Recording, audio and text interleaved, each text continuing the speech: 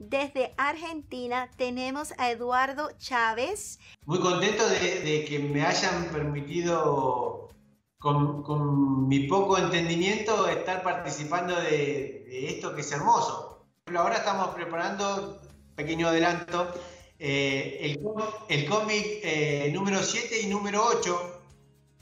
Estamos terminando para entregárselo, que bueno, él lo distribuye dentro de su iglesia ¿Qué tienes para proyectos futuros? Porque sé que haces muchas otras producciones.